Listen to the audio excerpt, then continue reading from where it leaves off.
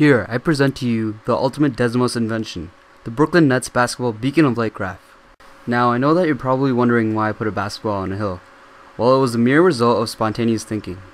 Originally, I thought this project was going to be the most difficult challenge I've ever faced in a math class. However, after experimenting with Desmos for a while, I eventually got the hang of it and developed the magnificent piece of art that is manifested right before your very eyes.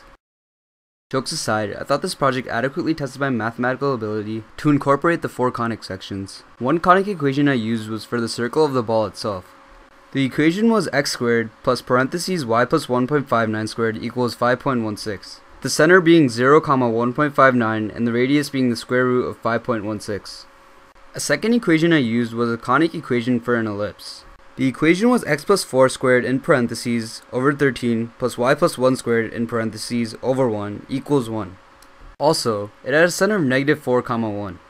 The aforementioned equation was vital in order to produce the dashes required for the face of the basketball. In total, I had over 111 equations, and I couldn't believe the number when I first saw it. In the end, this project successfully assisted me in demonstrating my creative finesse and helped further advance my mathematical knowledge of the four conic sections.